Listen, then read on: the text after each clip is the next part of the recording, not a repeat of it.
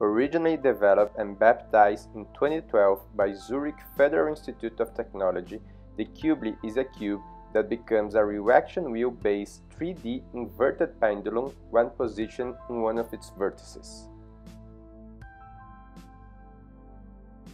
Our design device consists of a battery, a microcontroller, an orientation sensor, three reaction wheels fixed on three electric motors and driven by three individual controllers.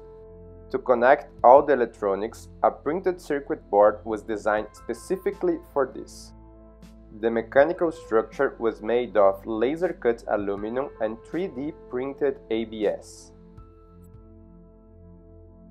Thanks to the design control system, by positioning the Cubli in one of its edges, it manages to balance itself, just by moving the reaction wheel associated with that axis.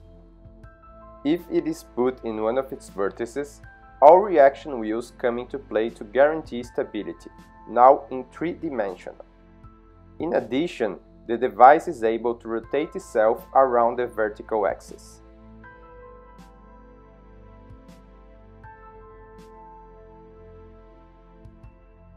Due to its nonlinear controller, the Cubli is able to recover from disturbances far from its equilibrium position.